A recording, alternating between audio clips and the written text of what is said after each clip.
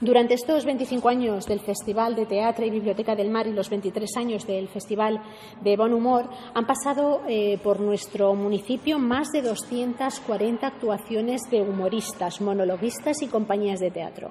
Yo casi que me atrevería a, decir que eh, la compañía que no haya pasado por Benicassim evidentemente es que no está en el panorama artístico nacional.